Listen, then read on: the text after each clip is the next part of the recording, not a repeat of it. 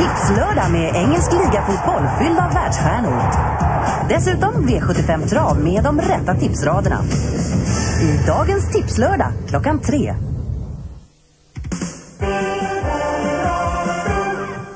Så här ser brickorna ut. Missa nu inte det att vara med i Bingolotto ikväll 18.30 med superchansen, med dubbelchansen och med alla andra chanser som färgchansen. 18.30 börjar vi. Skynda nu och skaffa brickor. Vi ses ikväll. Välkomna!